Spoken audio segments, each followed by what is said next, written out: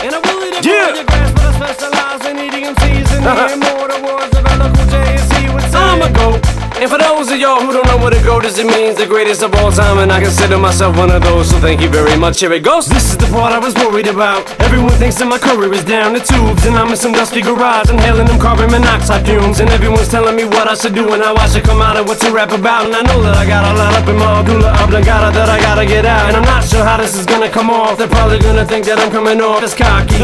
like I just started giving a fuck what you really think about me. See, the thing about me is you don't really know a thing about me. Everyone's making this think about me. Like there's some kind of an aura of that of the king around me. Surround me with other big gangsters, killers and bangers, and the most dangerous criminals. And I feel like I'm more comfortable around them than I do my own motherfucking neighbors. But see, my is to be remembered as one of the best when I leave. But why does it seem like I'm not even put up in the same category as other MCs? So when Weezy says that he's better than Jay Z, please be that just subliminally. Means he thinks Jig is the best and that he's the only one up in that league. See, and it's easy just to consider me one of the greatest white rappers there is. Knowing goddamn well that I'm one of the best motherfucking rappers who ever lived. Period. I'm a goat. And I don't mean to gloat, but I know what I know and I know what you think. And these magazines, I never put it in ink because how would it look if they consider me as a goat? And for those of y'all who don't know what a goat is, it means the greatest of all time, and I consider myself one of those. So thank you very much. Here it goes. Maybe they figure that I'm on my way out the game, so they gotta go try to find them a new women and more new shady if they think it's gonna happen. Man, I thought I was crazy, or maybe I could be taking it wrong and they're trying to pay homage to me in a strange way. So let me pay homage to my fellow white competitors almost in the same way. See, you hardly ever do hear anyone even bringing up Paul Walls white.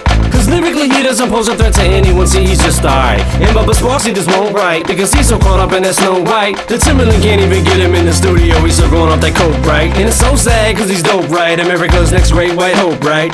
So now they feel like they gotta come up with some corny ass white rapper show, right? In which I'm still having mixed feelings about. They said to be real, I'm just spilling it out. There's something about a white boy talking black and running around with a damn grill in his mouth. And I love when they say that's Tiger Woods shit. Isn't it ironic that the best rapper's white and the best golfer's black? And I'm the one who's gotta catch all the flack over that. But these are the people who never had heard of an Eminem until they came out. But I had already hit middle America. Parents just all got to liking me now. And suddenly I wasn't such a bad guy. All of the hatred from me must have died. Thought I committed career suicide, so I had to turn back into the bad guy. So faggoty, faggoty, faggoty, gays, anatomy guy made Raggedy Ann and Andy. Not Raggedy Andy and Andy and Andy.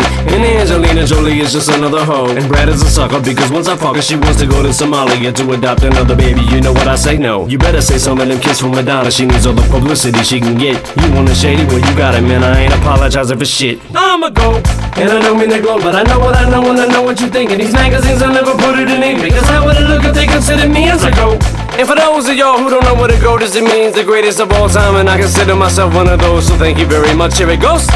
Man, I'm taking my ball and going home, man. This shit is too easy. Nobody wants to even pass me the ball, cause I'm a goat. So don't worry, I'm out the motherfucking game. And y'all can sit and argue about who's the motherfucking y'all know I'm a goat. And like I said, I'm one of the motherfucking best. Before you get your panties in a motherfucking bunch. Before I go, I'd like to say fuck you very much to everybody who wasn't there from the start. And thank you very much to everybody who was. And you only gotta say it, just think it, cause I know that you know that I know that you know that I know that I'm a goat. I'm out, y'all. It's been real. I'm a goat.